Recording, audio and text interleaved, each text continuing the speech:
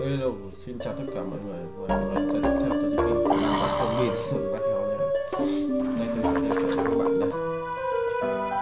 Tôi sẽ sử dụng toàn bộ các Thái Lan đây này.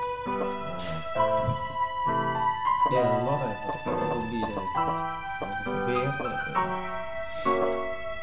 Kinder Melon nhá. Bắt đầu chơi tôi bắt đầu tôi sẽ sử dụng nhất tôi sẽ đây tôi sẽ lấy Winner Melon này. Đấy, tôi sẽ chọn Optivan này. Flipper Costa Balancer Yes Dragon Bomb Đó Scrap Gatling Spear Đó.